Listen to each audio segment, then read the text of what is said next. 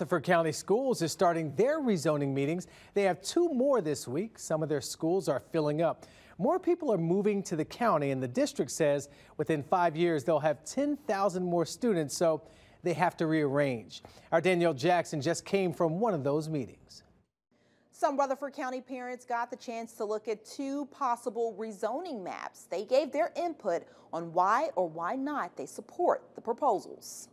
We are in this neighborhood here, and we've been going to Rock Spring, so there's just great little sidewalks. Christina Tregley looks at the maps that could change where her daughter goes to school in the future. Right now, where we're looking at on the rezoning, we would not be able to walk to school anymore. And it's not something we do every day, but the buses are super convenient. And when we have to drive her, it's right on the way and she can always walk. Rutherford County School District held one of the three public hearing meetings at La Vergne High School where parents heard about the rezoning proposal. The school district says the student population has grown tremendously over a short time and they don't believe their current facilities will support future growth. But some parents, like Christina, believes there's a bigger issue that needs to be resolved. I'm thinking in terms of like where they've allowed houses to be built and where they're building utilities and let's let's think about where schools are when we're making those decisions but some of that happens at the city level and the schools are at the county level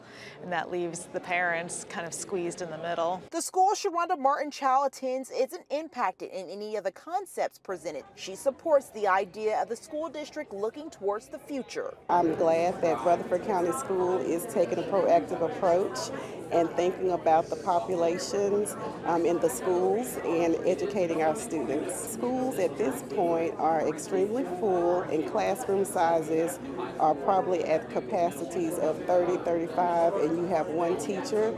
Rutherford County School District plans to have two more rezoning meetings. Parents can give their input Tuesday, September 19th at Stewarts Creek High School and Wednesday at Siegel High School.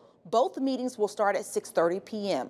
In Rutherford County, I'm Danielle Jackson for WSMV4.